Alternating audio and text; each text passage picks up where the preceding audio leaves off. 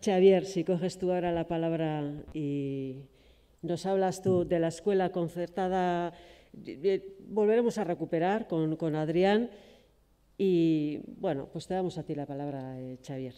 Escuela veréis que Sí, a ver si después funciona la conexión de Adrián y se puede solucionar. Eh, la no presencialidad es lo que tiene. ¿no? Bien, pues eh, eh, continúo yo porque además, bueno, hay, como veréis, son, son presentaciones que guardan bastante coherencia. En realidad, Adrián y yo trabajamos juntos sobre cuestiones de, del debate público-privado en educación, por ejemplo, cuestiones de segregación escolar. ¿eh? Voy a compartir la pantalla porque en mi caso la, la presentación de hoy la voy a centrar en cuestiones que tienen que ver con específicamente con, con la dimensión de la segregación escolar, eh, que como digo es un tema que hemos abordado mucho. Aportaré especialmente algunos ejemplos del caso de Cataluña, que es el que por supuesto es el que mejor conozco y en el que además he participado eh, a menudo en diversos eh, foros y, y, debates sobre el tema y porque además me consta que este simposio precisamente tiene lugar en un contexto de importante debate interno sobre el sistema educativo vasco. Eh, em, antes tampoco funcionaba la traducción simultánea, pero he podido entender eh, las cuestiones en torno a la producción de un nuevo libro blanco. Eh, y, también me constan los debates que hay en estos momentos sobre una posible nueva, ley de educación. En mi caso, el, objetivo de hoy es centrarme en dos aspectos muy específicos de, eh, de la cuestión de la segregación escolar. No, entraremos en, en, cuestiones técnicas o en el debate técnico porque no hay, no hay tiempo para ello, pero sí, en cambio, en qué elementos considero que desde un punto de vista de la regulación de la educación y de la gobernanza o del gobierno de las políticas tiene sentido eh, tener en cuenta eh, cuando diseñamos políticas contra la segregación escolar para ver hasta qué punto la, experiencia que en estos momentos, no es ni mucho menos un tema cerrado, pero que en estos momentos se está llevando a cabo en Cataluña, puede ser de cierta utilidad o no para el caso del País Vasco. Em, básicamente lo que voy a hacer en los minutos que voy a utilizar es primero una muy breve reflexión de por qué es importante la política contra la segregación escolar, o lo que podemos llamar también una omisión incomprensible de las políticas públicas y de la política educativa, en particular, porque como veréis, tiene que ser una prioridad en la, en la, en la lucha por la equidad en la educación. En segundo lugar, aspectos que tienen que ver cuáles son las condiciones para que esta agenda política de lucha contra la segregación escolar tenga un espacio y, cuál es la experiencia de Cataluña para entender cómo se ha ido incluyendo progresivamente el debate de la segregación escolar en la agenda. y eh, después desarrollaré dos temas clave. Uno es el tema de qué aspectos regulativos eh, se están, eh, hay que atender para, para, generar condiciones para la reducción de la segregación y elementos también de la gobernanza del gobierno de la lucha contra la segregación escolar en cuanto a tener en cuenta el tipo de actores y el tipo de condiciones que, eh, que tienen que eh, facilitar el, el, gobierno de estas políticas. Para finalmente realizar unas reflexiones finales generales eh, en torno a todo, a todo este debate.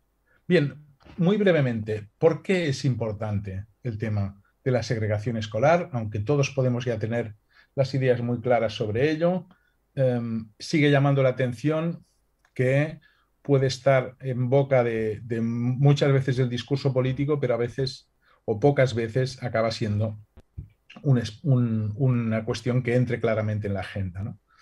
Y simplemente la primera cuestión a señalar, como, es, como lo podría ser de otro modo, es que tener muy claro que estamos hablando de una cuestión de justicia social.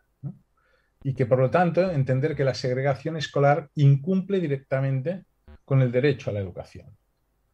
Y esto me parece una cuestión fundamental, porque no atenderla supone eh, que aunque se garanticen las condiciones de las, la, el acceso a la educación, no estamos igualando condiciones educativas y condiciones de escolarización. Y en tanto que no se igualan condiciones de escolarización, estamos hablando de una clara vulneración del derecho a la educación. Por lo tanto, eh, es en este sentido que considero que es una omisión eh, intolerable en estos momentos, ¿eh? porque conocemos muy bien y por investigaciones y por experiencias, seguro que el profesorado lo conoce mejor que nadie, que en entornos altamente de concentración de alumnados con dificultades, el proceso de aprendizaje es más complejo y es mucho más difícil de llevar a cabo y acaba teniendo consecuencias sobre las trayectorias educativas y las oportunidades sociales de los chicos y chicas. Pero es que además debemos tener en cuenta que estamos hablando también de una cuestión de eficacia. Es decir, no solamente ganamos equidad, ganamos eficacia si reducimos la segregación escolar, porque somos capaces de mejorar los resultados del conjunto del sistema. Los, mejoramos mm, por varias vías, fundamentalmente a través de lo que se llama el efecto compañero, el efecto de que la heterogeneidad favorece especialmente al alumnado precisamente más eh, desfavorecido, es decir, mejoran todos y todas, pero especialmente los más desfavorecidos. Pero es que además sabemos, gracias a los análisis de PISA, que ya llevamos diversas ediciones, y a medidas que permiten realizar niveles de inclusión y de heterogeneidad de las escuelas, que eh, son aquellos sistemas que han sido capaces de ser más inclusivos a lo largo de los últimos años, de, conseguir reducir la segregación escolar, aquellos que mejores resultados, perdón, mejores resultados han obtenido mm, en cuanto a los resultados medidos a través de PISA. ¿eh? También sabemos que en sistemas menos segregados los indicadores de abandono educativo prematuro son menores y que por lo tanto la heterogeneidad social también favorece la reducción del abandono educativo prematuro. Existen medidas más realizadas en Estados Unidos, pero cada vez más también en el contexto europeo, de que eh, existen beneficios económicos muy claros de la reducción de la segregación escolar. Reducimos costes sociales a medio y largo plazo, que tienen que ver con, la, con costes de seguridad, con costes eh, del, Departamento de Justicia, con costes que tienen que ver con las inversiones que hay que realizar para luchar contra el fracaso escolar. Es decir, hay análisis que eh, llegan a demostrar que los beneficios se multiplican por tres y por cuatro eh, a partir de reducciones significativas de la segregación escolar. Y finalmente, un elemento que Mm, me parece absolutamente fundamental, que es la mejora de la cohesión social. Eh, siempre digo que la forma en que tenemos organizadas las escuelas o el grado de segregación escolar que somos capaces de tolerar es un indicador de cómo queremos vivir. Y por lo tanto, si realmente creemos en que las, eh, los individuos de distinto origen social y distinta condición cultural también pueden y deben vivir eh, de forma conjunta, eh, lo mejor es que desde la escuela ya tengan un entorno de, interacción que se parezca lo máximo posible a la, vida misma. Bien, ¿cómo, ¿cómo se incluye la segregación en la agenda política? Yo cuando pensaba en esta cuestión me acordaba del año 2008, cuando yo estaba trabajando como adjunto al síndic de Greuges, al, Arteco de, Cataluña, em, para, para, la defensa de los derechos de la infancia, presentamos ese año un informe sobre el estado de la segregación escolar en Cataluña y fue como una especie de terremoto. ¿eh? Eh, ¿Por qué? Porque lo que supuso fue una aportación significativa de evidencia sobre una cuestión que se sabía pero no se cuantificaba. Ah, había algunas, algunos indicios muy claros, pero nadie había aportado nada de forma sistemática. Por lo tanto, hay un elemento que me parece que es clave en este, en este debate y en estas cuestiones, que es ser capaces de producir y aportar evidencia clara para realizar un diagnóstico de cómo está la situación de la segregación escolar. Este fue el informe que se presentó en 2008, pero simultáneamente, a través de fundaciones como la Jaume Bofill y otras, otros organismos como la propia Diputación de Barcelona eh, que en, su área de, educación han realizado eh, trabajos y estudios que daban mayor fuerza a aportar evidencia sobre la situación de la segregación escolar. Finalmente, en el año 2016, el SINDIC saca un nuevo informe, doble en este caso, en dos volúmenes, sobre, eh, muy completo sobre la situación de la segregación escolar en Cataluña y eh, los procesos de escolarización y la desigualdad. Sí, dime. ha ido el audio en la sala, dicen, y ah. Vale, de acuerdo.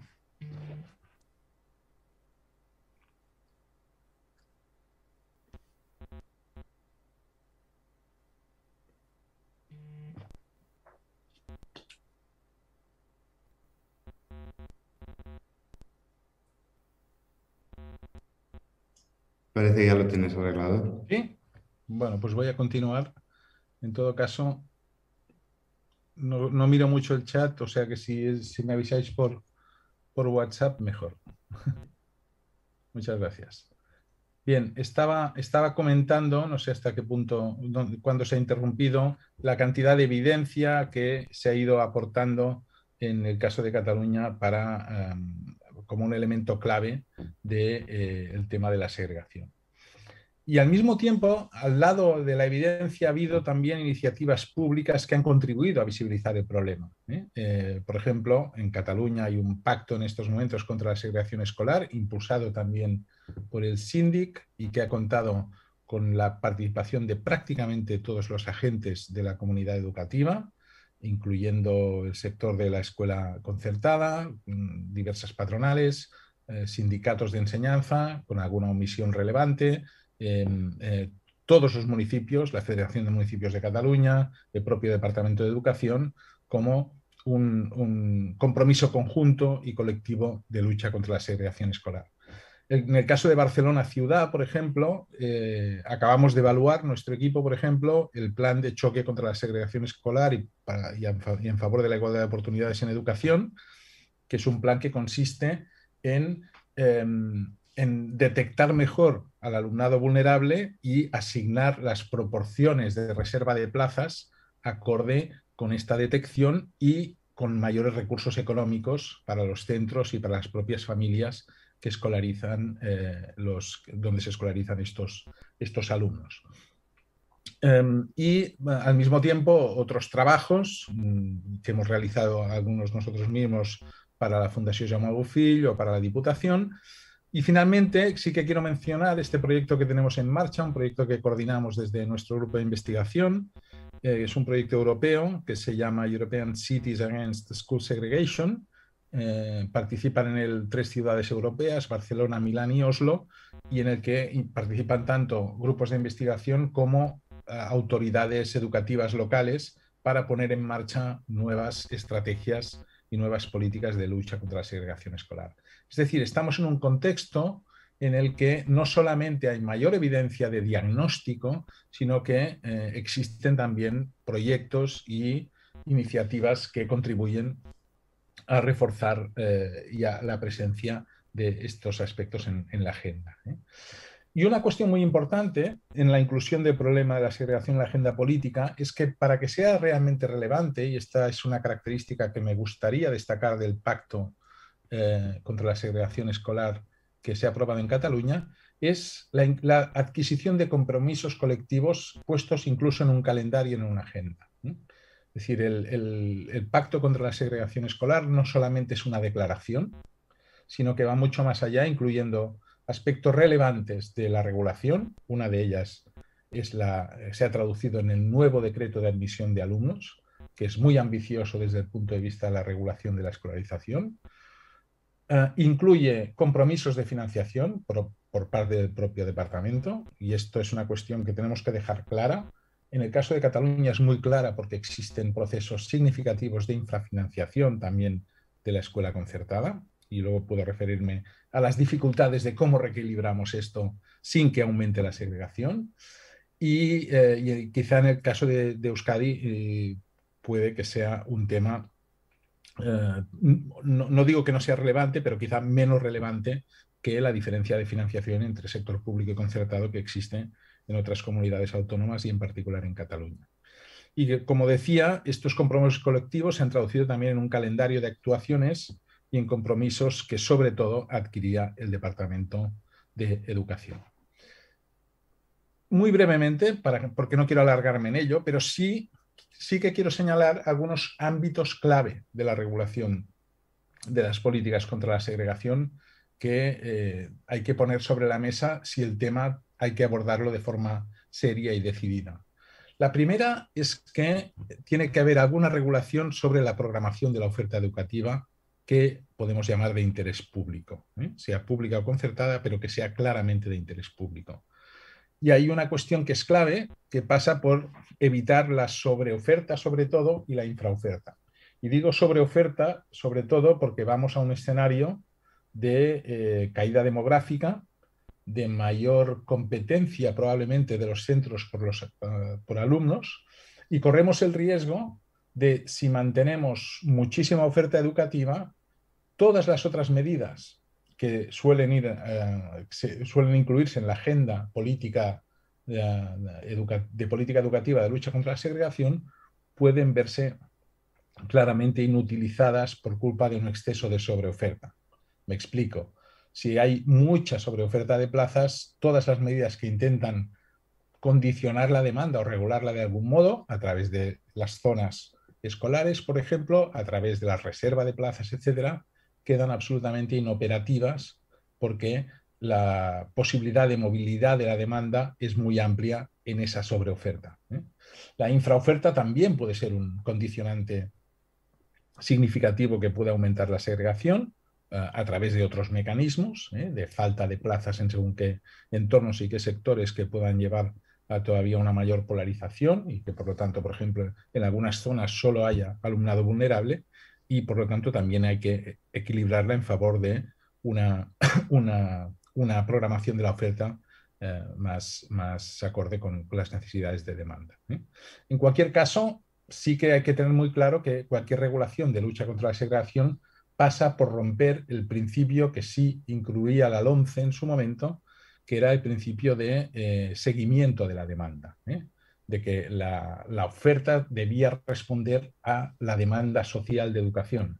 Esto, por suerte, sabemos que la LOMLOE lo, lo modifica y, por lo tanto, mm, señala muy claramente que la planificación y la programación de la oferta deben responder a las necesidades de escolarización. Y específicamente lo que hemos aprendido respecto a la dimensión de la admisión del alumnado, mm, aquí señalo algunos aspectos que me parecen especialmente relevantes. No están todos, pero sí los que yo considero que son claves. ¿no? Eh, no, no lucharemos bien contra la segregación escolar si no tenemos un buen sistema de detección de la vulnerabilidad y un buen sistema de datos de, sobre vulnerabilidad escolar. Esto tenemos que tenerlo muy claro.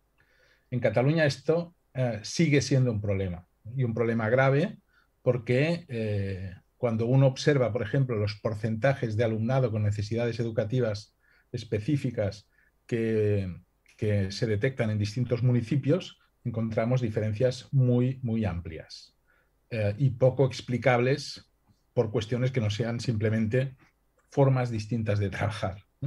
Por lo tanto, necesitamos nuevos sistemas de detección de, la vulnerabilidad, compartidos, eh, eficaces, homogéneos en todo el territorio y sobre todo que permita elevar el porcentaje de alumnado a distribuir. No va a servir de nada para reducir la segregación escolar si seguimos pensando que tenemos un 5 o un 7% de alumnado vulnerable en nuestro sistema, cuando tenemos tasas de pobreza que se acercan al 25% o incluso después de la pandemia han subido todavía más.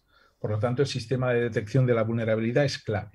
En Cataluña hay algunas iniciativas interesantes que se incluyen también en el propio decreto de admisión. Una de ellas es mejorar mucho más la capacidad de detección a través de los datos de registro. ¿eh? Eh, si queréis, mm, después en el debate podemos hablar más de estas cuestiones. En segundo lugar, el mecanismo de reserva de plazas y las vías de acceso. El mecanismo de reserva de plazas funciona, hasta ahora funcionaba en el caso de Cataluña, con mínimos de escolarización por eh, grupo clase.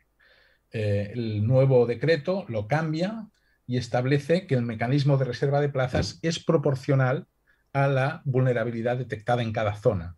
Es decir, que puede que una zona esté situada con una reserva de plazas de dos, tres alumnos por grupo, pero otras quizá estarán en seis, siete u ocho.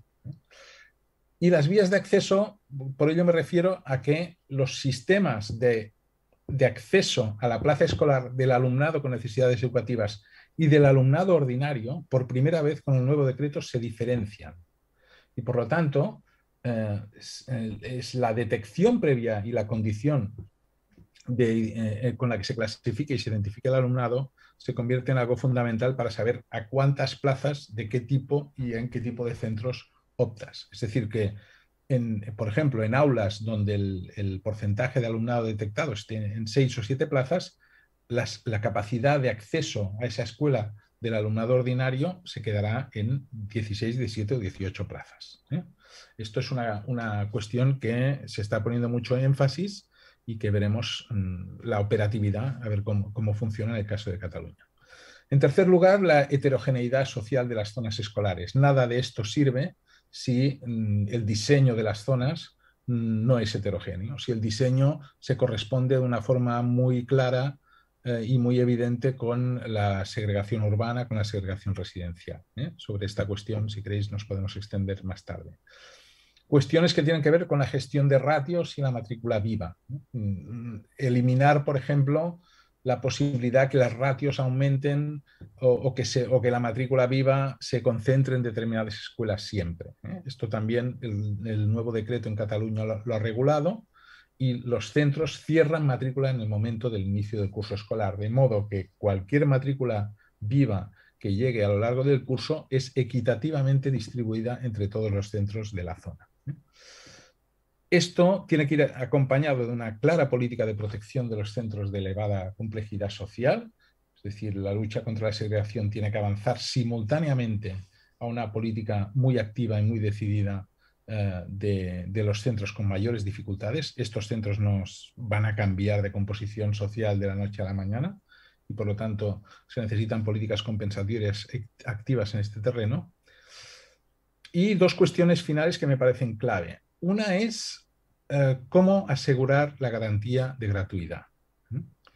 Y el pacto y el decreto también recogen un principio que me parece muy interesante como, como elemento regulativo, que es el principio de accesibilidad y no exclusión. Es decir, sabemos que los centros pueden seguir cobrando por actividades complementarias, sabemos la desigualdad que eso genera en escuelas concertadas especialmente, pero también en escuelas públicas, pero eh, introducir el principio de accesibilidad no exclusión supone que ningún niño o niña eh, pueda quedar excluido de ninguna de las actividades complementarias que se realicen por eh, una cuestión de precio porque no se puede prohibir la, actividad complementaria, como parece lógico y tampoco parece, parece deseable. Pero en cambio la accesibilidad y la exclusión a estas, a estas actividades es un, requisito, un, elemento que está sobre la mesa y que parece interesante. Y por supuesto, cuestiones que, tienen que ver con la gestión de la información, es decir, eh, no, con el sistema de información a las familias que tenemos en estos momentos y que se articula en las distintas ciudades y municipios, en el caso de Cataluña al menos, evidentemente se producen sesgos muy importantes y muy significativos en el proceso de elección de escuela. Y en ese proceso actúan elementos que tienden a polarizar muchísimo la, eh, la demanda escolar.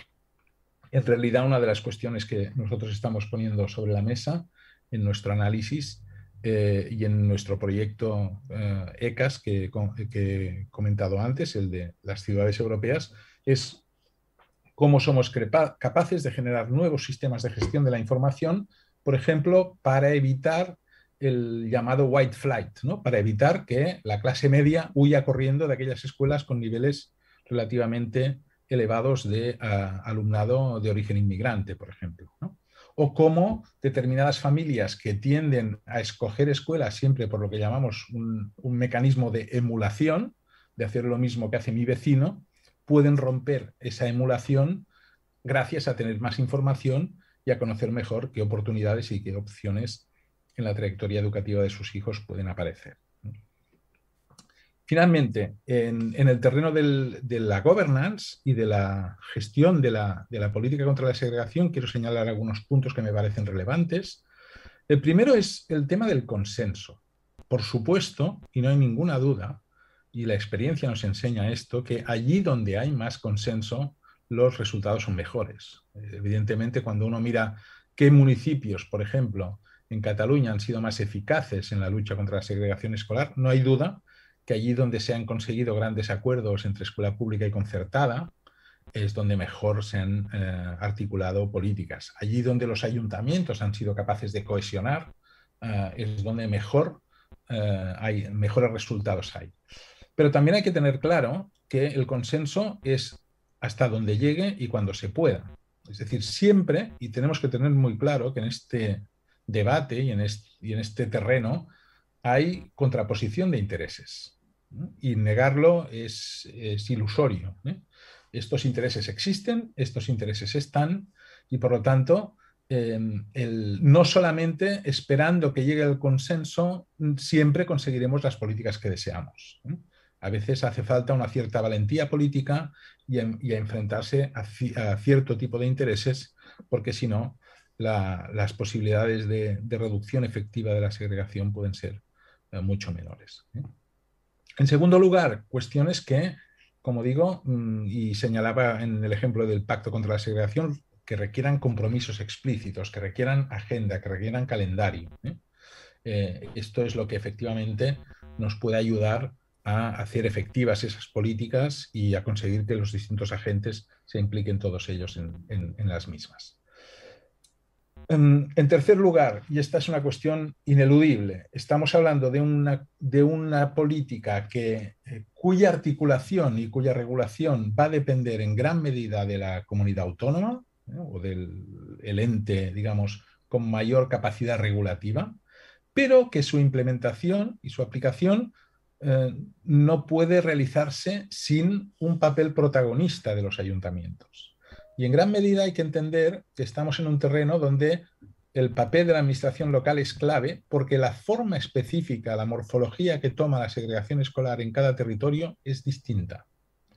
Y solamente el ayuntamiento y, los responsables políticos de la proximidad son los que pueden ser capaces de articular eh, medidas adecuadas. ¿eh? Por ejemplo, el, nuevo decreto de admisión de alumnos de Cataluña contempla la necesidad de que sean una nueva, un nuevo espacio que se ha creado, un nuevo organismo, que son las mesas locales de planificación, donde hay representantes municipales y donde hay representantes del Departamento de Educación, de la Generalitat, quienes realicen la planificación educativa.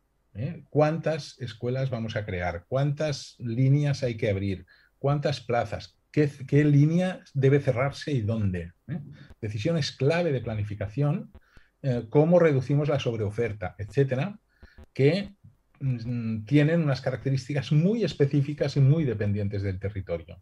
Con lo cual, eh, el, tener un espacio de articulación y decisión política a escala local se convierte en fundamental. No todo puede ser supervisado como con un dron desde el Departamento de Educación la, existencia de comisiones de garantías, que esto ya existía, pero se les refuerza el papel y su protagonismo, es decir, garantizar que el proceso de admisión se realiza de forma justa y transparente. Y eh, también el papel que eh, y sale reforzado el papel en el nuevo decreto de las oficinas municipales de escolarización, que juegan un papel clave en el proceso de información a las familias y en el proceso de gestión de eh, muchos elementos de la escolarización. Y por último, me parece clave también señalar la cuestión de la formación, la formación de los eh, técnicos y técnicas municipales de educación, de inspectores e inspectoras, de personas que están trabajando en el día a día de la educación, pero que para tomar decisiones informadas y, por ejemplo, poder realizar un diagnóstico adecuado de la situación de la segregación escolar, necesitan de eh, unos inputs y de unas habilidades que eh, no tienen por qué tener, por supuesto. Por ejemplo, nosotros en estos momentos, Adrián también participamos juntos en este proyecto, eh, tenemos un acuerdo con el Departamento de Educación para producir una serie de vídeos que van a servir y van a ayudar a, a que la formación se pueda extender de forma casi con sistemas de autoaprendizaje para que los municipios tenga mayor conocimiento de qué es la segregación escolar, cómo se puede realizar un buen diagnóstico, qué implicaciones políticas tiene tomar un tipo de decisiones u otras, ¿eh? una formación básica que pueda servir para, ah, para que los, el papel de los municipios sea más activo en este terreno. Y, por último, una cuestión clave de la gobernabilidad, y vuelvo sobre la cuestión de la, financiación público-privada y de las dificultades de, cómo se compensa el déficit, el déficit financiero de la escuela concertada, es ser capaces de regular esos déficits. Eh, por ejemplo, en el marco del Pacto contra la Segregación Escolar se ha realizado un informe, yo participé también en esa comisión, para eh, calcular cuál es el coste real de la plaza escolar y cuál es el déficit real del, coste y del déficit público de recursos, tanto para centros públicos como para centros concertados, pero dejar muy claro que el mecanismo de financiación y de compensación de ese déficit tiene que ser a partir de compromisos. No es vamos a reducirte el déficit y luego vamos a esperar que seas altruista y escolarices alumnos con necesidades educativas. No. Es en, la medida que los distintos centros públicos y concertados adquieran mayor capacidad de escolarización de alumnado vulnerable, es cuando los recursos tienen que seguir ese tipo de, decisiones y, de compromisos. Muy brevemente, para terminar, unas tres reflexiones. Em, nada de eso es posible y debemos tenerlo muy claro sin una mejora de la calidad de la información y la accesibilidad a esa información. ¿eh? Estamos en un terreno sensible, somos conscientes de ello. Evidentemente, eh, existen modelos de regulación educativa, como los que estaba exponiendo Adrián en, la primera parte de su presentación, como el caso de Chile, donde, donde el, sistema funciona muy a través de mecanismos de mercado, por ejemplo, y los sistemas de, de accesibilidad a la información corren el riesgo de que sirvan para reforzar más el mercado educativo. Pero no estamos hablando de esto, estamos hablando de accesibilidad a los datos, uno por parte de, grupos de investigación como el nuestro, de dejar de pelearnos constantemente con las administraciones para conseguir los datos y poder realizar estudios, pero también de las propias administraciones locales.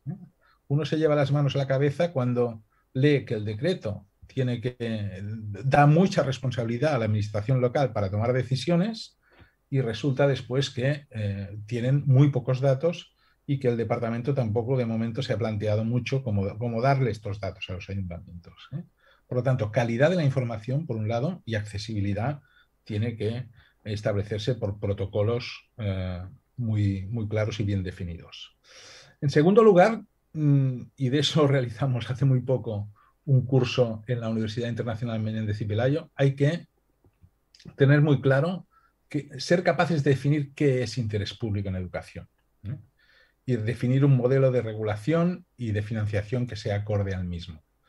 Y aquí básicamente esta es una cuestión clave, básicamente para la concertada, pero no solamente. Es decir, mm, cuando hemos eh, realizado, por ejemplo, el estudio del coste de la plaza escolar, queda muy claro que en Cataluña en estos momentos hay una escuela concertada comprometida, que incluso se compromete más que algunos centros públicos, que está infrafinanciada y que puede recibir con, mucho agradecimiento, además, en situaciones de crisis que uno puede imaginar, especialmente después de la COVID, una serie de recursos porque quizá ya está incluso eh, comprometiéndose más en la escolarización de alumnos vulnerables que otras escuelas. Eh, pero hay escuelas que mm, con la aportación privada mm, llegan a niveles de sobrefinanciación muy significativo. Y lo que no pueden esperar estas escuelas es que el nivel de gasto público compense esa sobrefinanciación, que es una financiación que lo que, compensa, que lo que, lo que supone son eh, posibilidades educativas y de calidad educativa distinta. ¿eh? Por lo tanto, es muy importante definir que el dinero público vaya para centros de interés público y tener muy claro cómo definimos eso. ¿eh? Sé que es un melón y que es complejo, pero, pero es un tema que debe acompañar al propio debate y al propio diseño de estas políticas. Y finalmente, una última reflexión es que, como decía antes, los procesos de lucha contra la segregación no pueden ser a corto plazo. Cuando conseguimos empezar a cambiar sistemas de acceso a la escolarización, uno puede plantearse eh, que la composición social de esa escuela por fuerza solo cambiará a cabo de 8 o 9 años, como muy pronto, si, eh, si la lógica de acceso sigue siendo la misma. Por lo tanto, hay que hacer compatibles estas políticas estructurales eh, que están presentes en un decreto de admisión o en una regulación educativa con lo que llamamos políticas focalizadas. Es decir, tenemos que ser capaces, eh, nadie puede negar el derecho a la educación a niños y niñas que están en estos momentos en escuelas con dificultades sociales. ¿eh? Y, en ello conocemos diversos mecanismos que algunos ya están en marcha, pero que pueden seguir explorándose y reforzándose. Uno es el de las famosas escuelas Magnet, ¿no? escuelas que intervenciones en centros de alta complejidad social que focalizan su, modelo pedagógico y su apuesta en un campo específico eh, y normalmente en coalición con algún ente eh, público o privado que, sea de interés, mm, una escuela focalizada en, en, elementos de música o en elementos de arte plástico o en elementos de ciencia o en elementos de matemáticas o lo que sea, gracias a acordes con acuerdos con museos o con fundaciones o con empresas o con, otro, o con otra organización. Pero hay también terreno para mejorar la focalización a través de mejoras en la financiación por fórmula, por ejemplo. En Europa este debate está cada vez más presente. Eh, la OCDE eh, ha estudiado modelos distintos de financiación por fórmula en distintos países y hay una gran variabilidad pero eh, es un terreno donde tenemos que mejorar también. Es decir, realmente las necesidades de los centros pueden ser distintas y la financiación no solamente es a partir de una categoría que el Departamento de Educación establezca como nivel de complejidad 5, 6 o 4, sino a partir de, eh, fórmulas eh, consensuadas y con buenos datos sobre las necesidades objetivas que puedan tener las escuelas. Y por último, mm, no obviar un tema que es fundamental. Nada de esto funciona si no hay un cierto compromiso del profesorado, si no conseguimos configuración de plantillas acordes con estos objetivos. Y ahí también es un terreno donde tenemos que ser capaces de introducir mecanismos de flexibilidad. Eh, de mecanismos donde eh, los derechos laborales, que por supuesto hay que, hay que no, solamente hay que respetar, sino que hay que reforzar, eh, tienen que ser compatibles con flexibilidad necesaria e inevitable para una ah, política adecuada de lucha contra la segregación escolar. Y hasta aquí creo que está hoy mi presentación. Muchas gracias.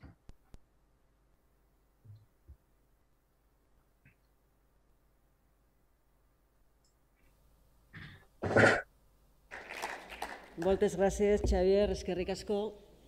Bueno, vamos a hacer eh, una cosita, gauzatxo bat egingo dugu. Eh, planak pixka bat aldatuko ditugu. Orain atxedin aldia dakagu, y planaren barruan dator, entra dentro del plan. Xavier, Adrián, ¿me escucháis los dos?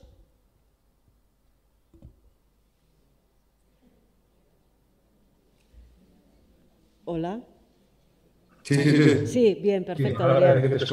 Eh, vamos a hacer una cosa, vamos a tomar 10-15 minutos de descanso, vamos a aprovechar para darle tiempo a Amelia Barquín a que se sitúe en el, en el estrado y vamos a hacer un pequeño cambio de plan. El ejercicio telemático lo dejaremos para el final, para hacer un ejercicio eh, de cierre y vamos a aprovechar eh, Adrián, si no conectas el vídeo, no utilizas PPT, vamos a intentar recuperar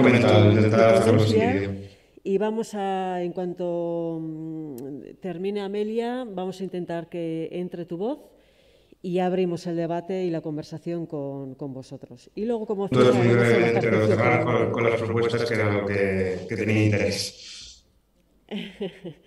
De acuerdo, pues entonces eh, vamos a ver si estas conexiones técnicas mientras descansamos se solucionan y dentro de 10-15 minutos estamos de nuevo. Es que ricasco también, es que soy impaciencia a ti. Adrián, muchísimas gracias también por tu paciencia. No, no, no.